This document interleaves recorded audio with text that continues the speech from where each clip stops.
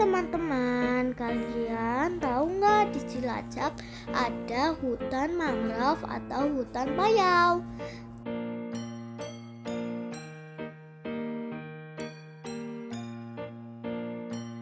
Tiket masuknya cuma Rp7.500.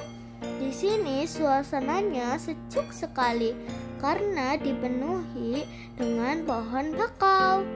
Jika kalian sampai ke ujung, kita akan sampai di sebuah muara yang view-nya bikin kita takjub. Tonton videonya sampai selesai ya sobat.